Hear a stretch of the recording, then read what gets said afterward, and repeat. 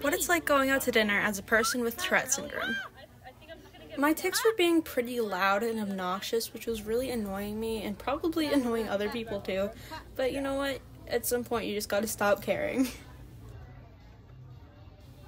The hardest part for me was probably trying to not slam my fist on the table really loudly or like trying not to push the drinks over. It it's really difficult. Our food came. I got buffalo chicken mac and cheese and it was pretty good. Um a little too buffalo-y.